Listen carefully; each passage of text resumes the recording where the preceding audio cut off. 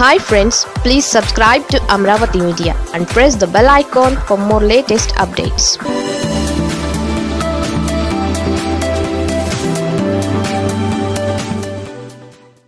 టీడీపీని టెన్షన్ పెడుతున్న జగన్ ఢిల్లీ టూర్.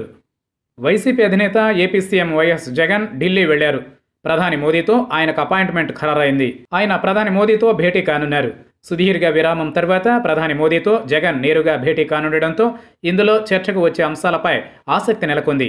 ఇప్పటికే టీడీపీ అధినేత చంద్రబాబుతో పాటు ఆయన కుమారుడు లోకేష్పై సీబీఐ దర్యాప్తు కోరుతున్న జగన్ ఈ అంశాన్ని కేంద్రంలో వైసీపీ చేరికతో ముడిపెట్టబోతున్నారా అనేది ఇప్పుడు ఉత్కంఠ రేపుతోంది.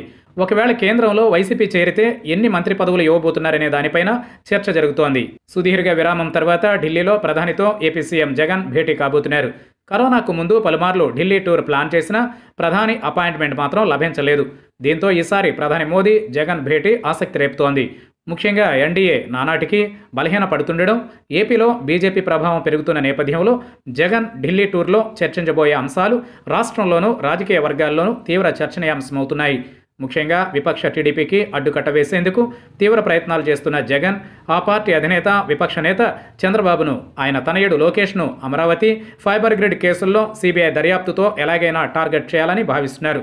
దీంతో పాటు కేంద్ర కేబినెట్లో వైసీపీ చేరికపై పెరుగుతున్న ఒత్తిడి నేపథ్యంలో జగన్ నిర్ణయం కీలకం కాబోతోంది. బీజేపీ నేతృత్వం వహిస్తున్న ఎన్డీఏ గత ఏడాది సార్వత్రిక ఎన్నికల్లో ఘన విజయంతో పటిష్టంగానే ఉంది. తాజాగా రెండు మిత్రపక్షాలు ఎన్డీఏ నుంచి తప్పుకున్నా ప్రభుత్వ మనుగడకు వచ్చిన ఢోకా లేదు. అయినా రాజ్యసభలో వైసీపీ వంటి పరోక్ష మిత్రులపై ఆధారపడాల్సి రావడం బీజేపీకి ఇబ్బందికరంగా మారుతోంది. ఎన్డీఏ నుంచి ఇద్దరు మిత్రులు తప్పుకోవడంతో నైతికంగా విమర్శల బారిన పడిన బీజేపీ వ్యవసాయ బిల్లులకు బేషరతుగా మద్దతిచ్చిన వైసీపీని చేర్చుకోవడం ద్వారా వాటికి చెక్ చెప్పేందుకు సిద్ధమవుతోంది.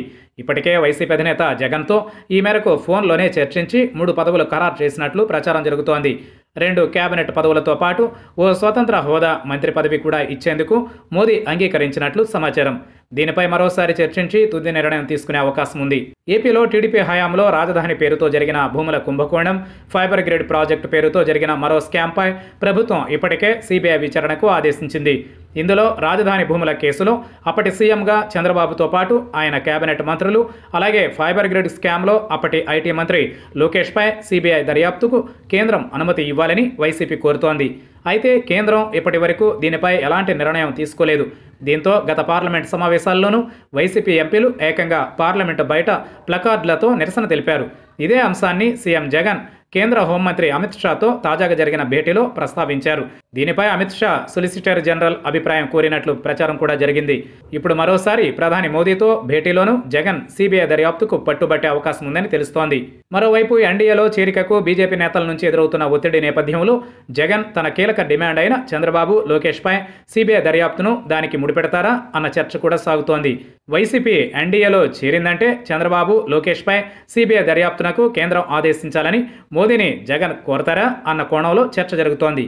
గత ఏడాది ఎన్నికల్లో ఘోర పరాజయం తరువాత కుదేలైన టీడీపీ దుకాణం పూర్తిగా బంద్ చేయాలంటే తండ్రి కొడుకులపై సీబీఐ దర్యాప్తు చేయాలని అప్పుడు తాము వైసీపీలో చేరినా ప్రత్యర్థులు ఉండరనే విషయాన్ని జగన్ మోదీ దృష్టికి తీసుకెళ్తారనే ప్రచారం సాగుతోంది. ఒకవేళ జగన్ ఇదే అంశం మోదీకి చెప్పినా ఆయన ఈ వాదనకు అంగీకరిస్తారా అన్నది అనుమానమే. దీంతో జగన్ మోదీ భేటీపైనే ఇప్పుడు అందరి కళ్ళు ఉన్నాయి.